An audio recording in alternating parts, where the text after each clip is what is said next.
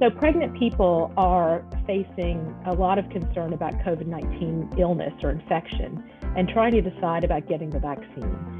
Getting the vaccine during pregnancy has been demonstrated to be safe and effective. We now know in the United States that well over a few hundred thousand pregnant people have gotten the vaccine without any concern. So it is really important to know that COVID 19 vaccine is safe during pregnancy.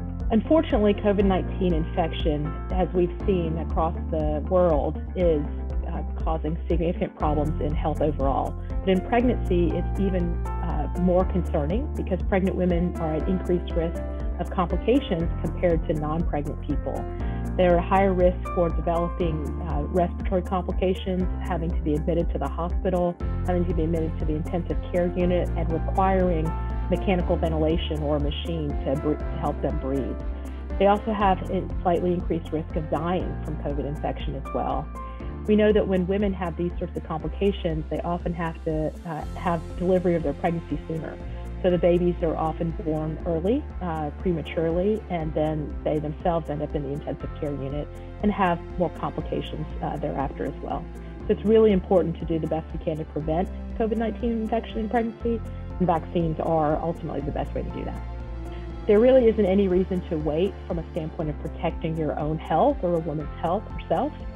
There is no data suggesting it's any better or worse for the baby, depending on when you get the vaccine either. So it's important to go ahead and get the vaccine now. There are several vaccines that are approved for use in the United States to prevent COVID 19. People are often trying to decide if they should choose one over the other. Right now, all the data supports that all vaccines are safe and effective. There is no reason to choose one over the other during pregnancy, and it's important to get the one that you feel comfortable with.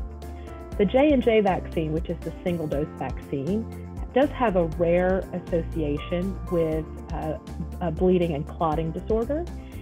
It isn't because of an increased risk in people themselves. Um, so it's okay if a pregnant woman chooses to get that vaccine. However, I would suggest they get any vaccine that they have access to at the time to really prevent COVID 19 disease.